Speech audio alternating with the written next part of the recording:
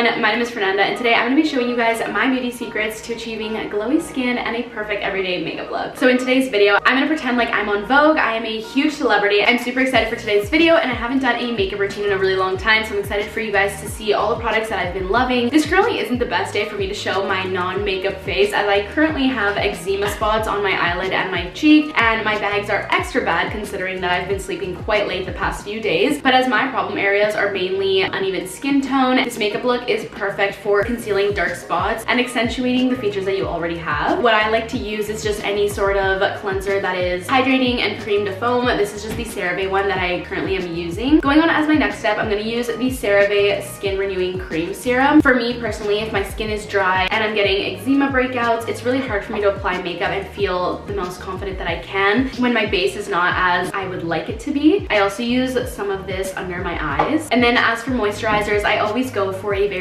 creamy moisturizer. The one that I've recently been using and is almost finished is the Daily Greens by Farmacy. It also smells super minty. Love that.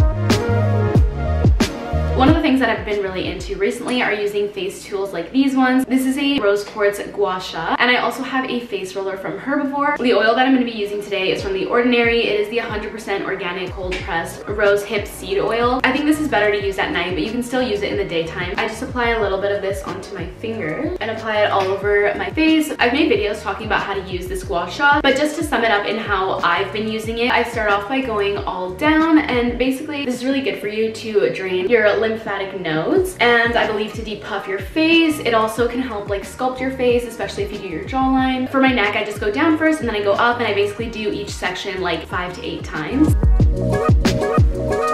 when you're doing this, you just have to be very gentle because I do know one of my friends did it and ended up giving herself like a hickey from dragging it too hard. So you do need to be very gentle. It's also very important to have an oil on your face, otherwise it will just pull on your skin and not glide the way it's supposed to. I also want to say that the gua sha does originate from Chinese medical traditions. So I think it's really cool that especially on platforms such as like TikTok or even through YouTube videos that a lot of people are getting more into it and learning about the traditions from China and Southeast Asia. I also like to go along my face like this to smoothen out these smile lines and the lines that I have under my eyes.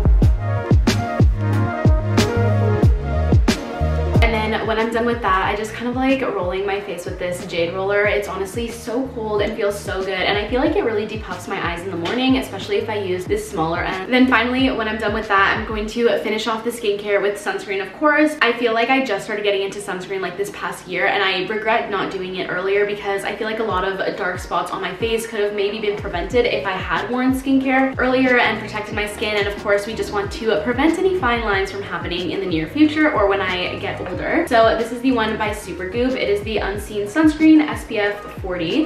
And I got a fair amount of this because I did read online that a lot of people actually underestimate how much sunscreen you need on your face and that it just doesn't end up doing what it's supposed to be doing. So I just grab all of this and then apply it all on my face. This sunscreen actually has a really good texture. It's not very greasy or oily and I feel like it just locks in all my skincare. And then of course, make sure you go down to your neck. I am a victim of having wrinkles here and I think it's from looking down too much. I am not too sure, but I definitely do not want to keep those going. I'm just gonna apply some of this lip balm. This is by Summer Fridays and it is the Lip Butter Balm. I highly recommend this. I feel like I've had this for so long and there is hardly a dent in it. It is super moisturizing and especially for before going to bed, it makes my lips so moisturized when I wake up. So now that's all done, we can begin with our makeup. I have my little makeup pouch here with everything that I wanna show you guys and all my favorite products. For me, I don't really like a super heavy face of makeup. I feel like sometimes less is more. product that I've been using for so long now, it's kind of my holy grail, I would say. It is the IT Cosmetics CC Color Correcting Full Coverage Cream with SPF 50. I apply some to the back of my hand like this. And then I normally start out in sections because one thing that I've noticed with applying face products is if you do the dot kind of thing all over your face and then you don't blend fast enough, sometimes it dries up and then it's kind of hard to disperse that product. I started wearing makeup when I was probably in grade six. I was so embarrassed when I first started wearing it. I remember people would always ask me, are you wearing mascara? And I would, of course, use that classic lie, which I feel like a lot of people used to say when they were younger that was like, I was just playing with makeup or I had it on from last night and I couldn't get it off. But the truth was, it was me putting it on every morning. I would run into my mom's bathroom and like put a tiny bit of mascara and like eyebrow gel and call it a day. But I definitely think as the years have gone by, I've gotten a lot better. Even when I look at my makeup last year, I feel like my eyebrows were way too thick and I feel like there's always something wrong with it when you look at it like the following year. So far, I haven't had any problems with this makeup routine. So hopefully it sticks for a while. Moving on, I'm going to start to use my concealer. This is the NARS Creamy Radiant Concealer. I use quite a bit and I go all under my under eyes. I'm looking super pale right now because my face makeup is just making one layer on my skin and there's no dimension. I do use some powder. This is just the Laura Mercier and I go under my eyes just to avoid any creasing with my concealer. Moving on, one of the favorite products that I've been using recently is this MAC Studio Fix powder. It is actually a face powder, but it works really well as bronzer, so I just got a darker shade than the one that I have. It looks like this. It is in the shade NW40, and then I grab a big fluffy brush, and I just bronze my whole face from my cheek and my forehead and my chin then I'll look something like this. It looks a little bit better, but I think I'm gonna add a little bit more in a little bit. So I discovered these products from watching the Madison Beer makeup tutorial. These are the Charlotte Tilbury glow sticks, I believe. I'm starting off with the Peachgasm. This is the blush that I use. It's a cream. I'll just do a few dots and then blend it in after. And then I'm just gonna blend this out with my Beauty Blender. And then I'm just gonna take a different fluffy brush and I'm gonna apply a powder blush. If you've watched any of these makeup tutorials, a lot of them say that like the placement of your blush really makes a difference on your face. And if you apply it just right on the apples of your cheek, it does a different illusion than when it's on your cheekbones because it kind of makes you look lifted and like, you know, just up. So I focus most of my blush on there, but I'll also do a little bit on my nose and just a little bit on my cheek just to like still have color there. Um, and a little bit on my forehead and just a little bit on my face just with whatever is extra on the brush. I know a lot of people do soap brows, but personally, my eyebrows aren't even long enough to like flick up without looking insane. I normally use either hairspray or a gel, and I know that sounds kind of weird, but hairspray actually works really well if you just spray it on a spoolie like one of these, or I really like using this. This is actually a new hack that I've discovered. This is the Got To Be Glued Water Resistant Spiking Glue. Now this glue is actually really good. It works so well, and you can really like lick your eyebrows in the exact direction that you want it to go, which I feel like sometimes my hairs don't want to listen to me when I'm brushing them, so having something like this that really sets them down is really good. I'm only gonna apply a little bit.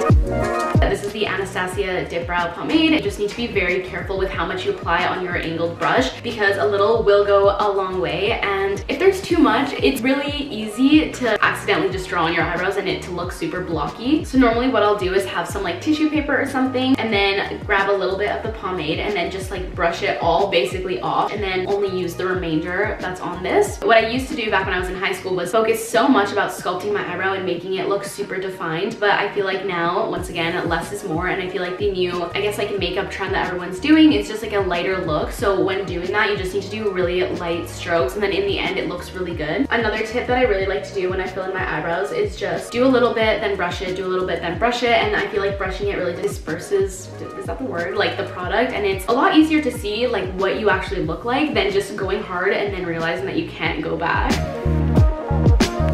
Another tip that I use when I fill in my eyebrows is to be lighter on the front. I also use my brush to line up like with my nose where the beginning of my eyebrow starts because sometimes I wouldn't go all the way in or sometimes I would go too far over and realize that's way too far. But I feel like like that you can tell exactly how far you're supposed to. And then I'm going to go back in with my MAC powder and something that I've been doing for a long time that I remember I learned from Summer McKeen in literally like 2016 is to use bronzer as eyeshadow. So I'll usually grab a big fluffy brush like this, grab some of this powder powder, kind of fluff it up, and then just do like my whole eyelid basically.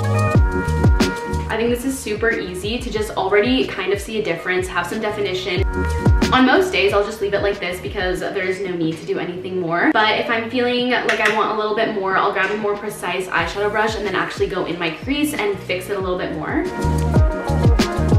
I also try to focus my eyeshadow going like this so that there's a little bit of a shadow effect and it looks a little bit more fox side or just like lifted. Moving on to my favorite step, which is lining my eyes with an eyeshadow. Now, this color doesn't really matter. Normally, I'll go for like a dark brown or like a reddish color. If you have blue eyes, definitely try this. I think I'm gonna go for this middle color. Normally, I'll just line the tops of my eye and do a little wing. And by wing, I just go off of my lower lash line and just bring it up. You just follow the natural shape of your eye and then to kind of balance it on the bottom, I'll use a little bit of this again and go on my waterline. Then I'll go in with my eyelash curler. Now this one is just from Revlon. I did just get eyelash extensions not too long ago. So my lashes are looking very short. They're not as long as they normally are. And they're definitely a lot weaker. So I'm very careful when curling my eyelashes. As for mascara, the two that are my favorite, I use these all the time, are the Luminous Lash Paradise and the Lash Sensational Full Fan Effect. And both of these are in waterproof. I know people say that waterproof isn't that great for your eyes and that it's really bad for your lashes like when you're trying to take it off at night. But honestly, I haven't had any problems. I've been using waterproof since literally I was like in grade six. And I actually think my lashes have been holding up pretty well. And I definitely think that it looks so much better. Like normally when I use non-waterproof mascara, it comes off so easily and then I have it under my eyes and it's just a mess and I would rather deal with this. I'm gonna start off with the Voluminous Lash Paradise one. There's my first coat of mascara. I was just thinking actually that the first YouTuber that I ever watched when I was like 10 years old was actually Makeup by Mandy. I'm sure a lot of you guys know who she is. I literally remember searching up before the first day of grade six, makeup for grade six, first day of school makeup. And I would just watch those religiously. I have to be super careful to not get any on my eyelid because I do that all the time. And of course you can go in with a Q-tip, but just ruins my mood. I would just rather not do that personally really like going from the root because I feel like my eyelashes look better when they're thicker and more voluminous. And then when I'm done my mascara, I'll keep my eyes looking neutral and then I'll just go like this just so I can get the very tips of my eyelashes. I'm obsessed with lips. I used to always do like a full face of makeup and just nothing on my lips. I would literally wear chapstick and call it a day, which is fine. But I've honestly discovered that having lip products makes your face, when you have a full face, look a lot more balanced and completes the look. My recent combo, which is so basic, this is the Charlotte Tilbury Pillow Talk Lipstick and lip liner. I feel like I've heard so many people talk about this, but honestly, it is worth the hype. And then to top it off, I'll use this lip gloss. This is the Lifter Gloss by Maybelline in the shade Silk. Okay, perfect. And the last thing I'm gonna use is the Charlotte Tilbury Beauty Wand highlighter in the color Spotlight. Now a little bit of this goes a very long way, so I'm only gonna use a tad and grab a tiny brush like this.